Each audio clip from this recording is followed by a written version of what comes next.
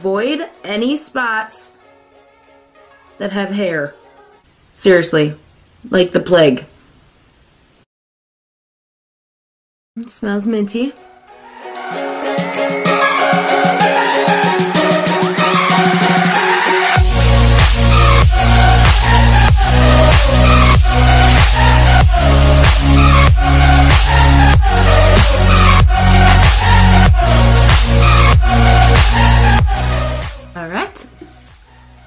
And then you're gonna let this dry. I've seen 25 minutes, I've seen an hour and a half. I will let you know when it's dry and how long it took. Oh god. Okay. I can't talk, but it's been about a half an hour and you can kind of see it.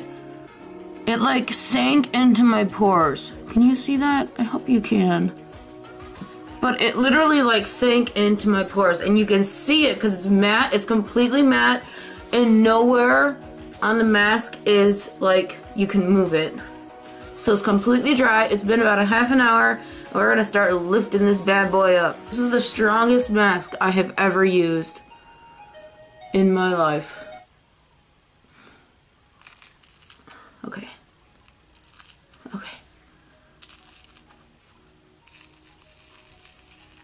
It's not bad, y'all. It's not that bad, but it sounds bad. Oh my gosh, it's working so good. Okay. Always remember to pull up.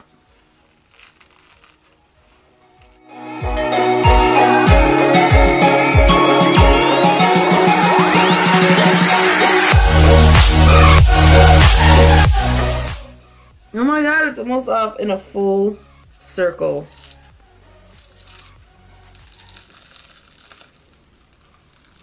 When you're done, go ahead and take a warm cloth and rub it against your skin to get rid of the excess mask. Alright, here's my warm rag.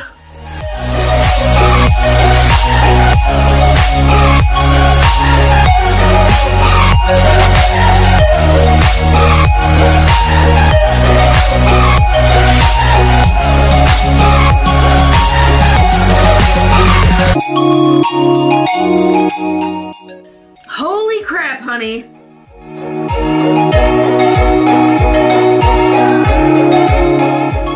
And my face is usually normally